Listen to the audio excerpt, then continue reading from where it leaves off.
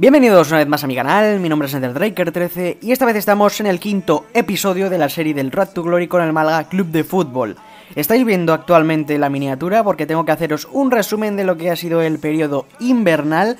Ya sabéis que acabamos el año 2018 invictos, de milagro pero invictos y somos líderes de la segunda división del fútbol español. Lo que vamos a ver en este episodio eh, pues obviamente son los octavos de la Copa del Rey con el Athletic Club de Bilbao, tanto el partido de ida como el partido de vuelta. También vamos a ver un fichaje, pues que ya estáis viendo lo que viene siendo la miniatura. Necesitamos un refuerzo invernal porque lo que viene siendo la plantilla sufría mucho, se cansaba muchísimo y lo vamos a necesitar sí o sí. Así que vamos para allá, vamos a ver el fichaje y vemos los partidos. Aquí estoy viendo las negociaciones con Marcelino, entrenador del Valencia Club de Fútbol, mi equipo, del que soy seguidor, obviamente. Ya sabéis que en verano lo que hicimos fue ahorrar bastante dinero, por lo tanto vamos a ofrecerle lo que viene siendo una cifra de 8 con 6 millones de euros, a ver si nos acepta, enviamos la oferta. Estamos dispuestos a ofrecerte 8,6 millones. Marcelino obviamente está conforme, al igual que el Valencia Club de Fútbol. Así que ahora solamente tenemos que negociar con el jugador. Quiere una relevancia importante, va a ser importante obviamente, porque los jugadores de nuestro equipo, al tener la media más pequeña de lo habitual, se suelen cansar mucho por la resistencia, así que va a tener bastantes minutos. Le ponemos 38.000 la prima y 8.700 lo que viene siendo el contrato, el sueldo que va a ganar. Así que le ofrecimos esto, 8,7.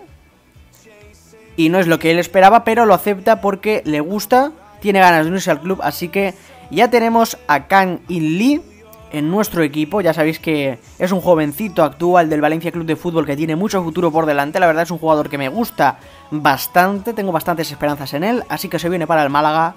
No voy a derrochar esta oportunidad porque el coreano, la verdad, es un jugador que va a crecer mucho y nos va a dar muy buen futuro de cara a esta temporada y las próximas. Málaga Athletic Club de Bilbao, primer partido del año 2019, partido de la Copa del Rey, nos jugamos mucho. Nuestro principal objetivo, ya sabéis, que es el ascenso a Primera División, pero aquí está la Copa también. Aquí está que tiene 17 años, tiene un valor de 8,6 millones y va a ser bestial el crecimiento de este jugador. También tengo que decir que no solamente lo he fichado a él, sino que también he mejorado los contratos de los jugadores actuales. Las cláusulas eh, de restricción las he quitado porque si quieren negociar con jugadores, pues que lo hagan conmigo personalmente. Un ejemplo de ello es Mula, que tiene bastante futuro por delante también. No voy a dejar que por 7 millones se lo lleven. Así que comenzaba el primer partido del año 2019, el Atlético de Bilbao que la estaba tocando bien, pero aquí la robamos perfectamente, Mula Mula para Arp, Arp que marcaba el primer gol en el minuto 2, habíamos empezado muy enchufados el partido, habíamos pues prácticamente robado el balón, en el campo del Bilbao. Así que ahí está el gol. La verdad que es un golazo, ¿no? Porque se la robamos muy bien, creo que se llama Muniain. Y después pues aprovechamos perfectamente los dos primeros minutos y marcamos el primer gol. Pero desafortunadamente, tres minutos después, Susaeta, pues que la tenía, el Atlético de Bilbao que nos empataba, nos ponía el 1 a 1 y obviamente este resultado les venía muy bien a ellos porque los goles fuera de casa valen doble y de quedar así este partido, pues obviamente estábamos fuera. Minuto 20 de partido, Ontiveros aprovechaba el centro de su compañero y ponía el 2 a 1, nos ponía por delante una vez más en el marcador. Y esto pues que nos ponía otra vez por delante en la eliminatoria. Minutos después en el 22 la tenía Susaeta. Susaeta para García y mirar qué golazo que nos marca. Nos marcan el 2 a 2, se nos vuelven a complicar las cosas. Y aquí está la detención automática de goles. La verdad, eh, es gol obviamente. Aquí obviamente digo, pero si no es gol. Pero claro, luego la pelota pues se mueve hacia adentro y sí que es gol. De haber quedado así no habría sido gol porque tiene que traspasar toda la esfera. Y sí, es gol.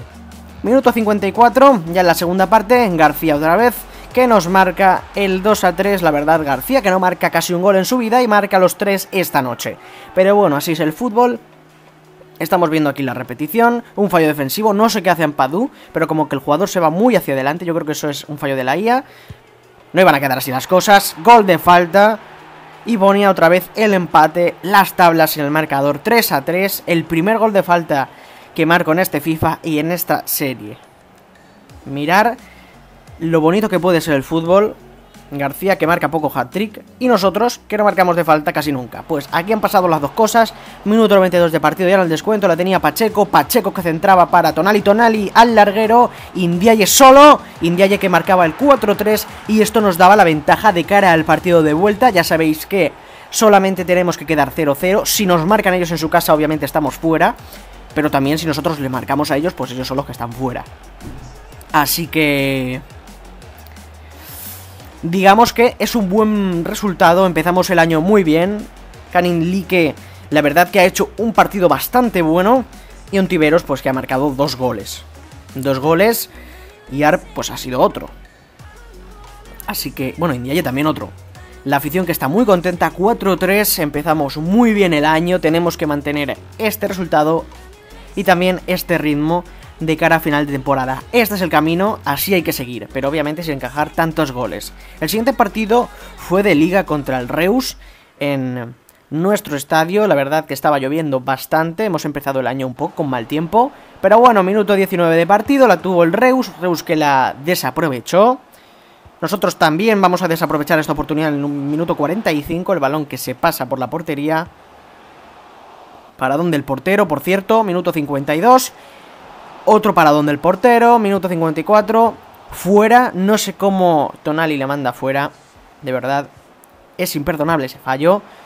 Otro paradón de nuestro portero, de Furtz, que ha hecho un partido excelente.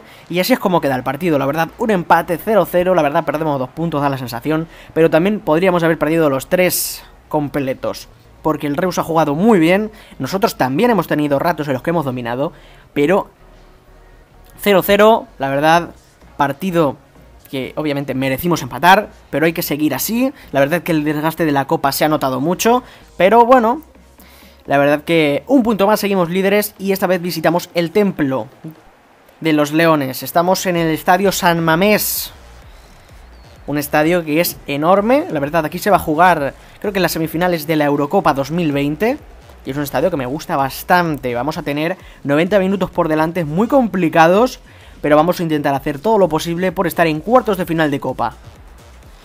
Minuto 71. Aquí estáis viendo que Atleti de Bilbao estaba presionando muy bien de cara a la defensa, marcaban el gol y este gol de momento les ponía a ellos como eh, pues otro equipo que se clasifica, ¿no? Como el equipo que se clasifica para la siguiente ronda que son los cuartos de final. Y estáis viendo que han sido unas eliminatorias increíbles, ¿no? 4-4 de la global, pero aquí estáis viendo que pues Blackman no puede hacer prácticamente nada, ¿no? Es un bombazo increíble de Raúl García otra vez. Pues bueno, el minuto 83 de partido, a la desesperada, Durkin que tira desde fuera, Durkin que mete ese balón, no sé cómo lo ha hecho, no sé cómo lo hizo, mejor dicho.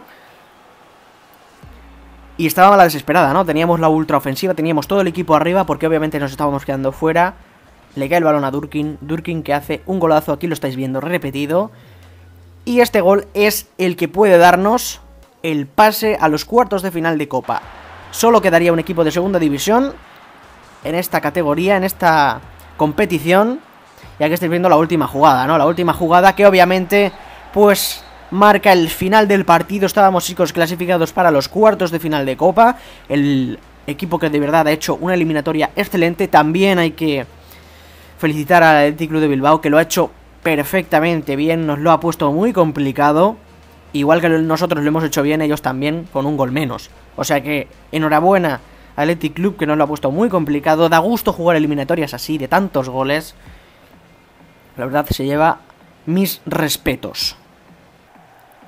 Partido de liga contra el Real Oviedo. Equipo de Asturias. Los equipos asturianos siempre se me dan un poquito mal. Y aquí vemos que somos el equipo más goleador con 35 goles a favor. Nos sigue el Sporting y el Oviedo que viene por detrás. La verdad ya había parado el mal tiempo, ya llegaba el calorcito, ya estamos casi en el mes de marzo.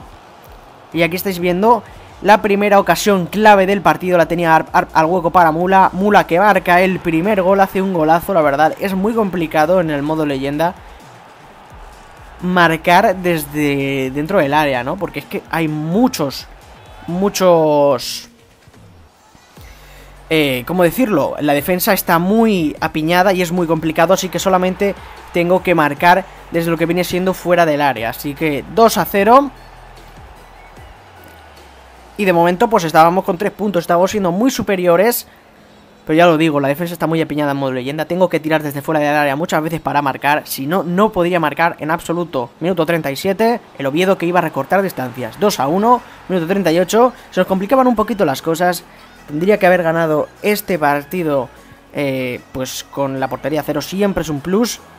Pero bueno, ARP, que hacía el 3 a 1, ahí os lo dejo, es un golazo, pero un auténtico golazo.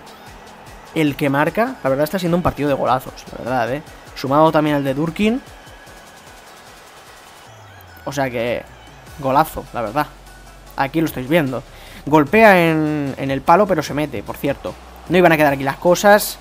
Desaprovechamos esta oportunidad. Arp que deja escapar el 4 a 1. Minuto 62. El Oviedo. Pues que hace el 3 a 2. Furch. Que se relaja bastante. Y pues encajamos ese gol. Aquí lo estáis viendo. El Furch no sé qué hace, la verdad. Es un gol bastante bueno de cabeza. Y ala. Ahí estáis viendo que termina el partido. 3 a 2, la verdad. Tenemos la ventaja en el marcador, nos sentimos superiores, pero encajar dos goles, la verdad que me parece muy mal.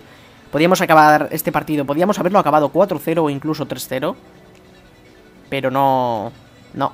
Desafortunadamente no podemos mantener la cero, pero afortunadamente conseguimos los tres puntos en el marcador, ganamos el partido y no hay que pedirle más peras al olmo, ¿no? La verdad, estamos en cuartos de final, seguimos líderes, ganamos partidos, nos sentimos muy bien y así que seguir de cara al final de temporada. Hasta aquí llega el episodio número 5, ya sabéis que si os ha gustado podéis dejar vuestro like, vuestro comentario, vuestra suscripción si no estáis suscritos, mientras que apoyéis el canal, obviamente. Si os vais a suscribir no lo vais a apoyar, no tiene sentido. Así que nada, muchísimas gracias a todos y nos vemos en la siguiente. Un saludo.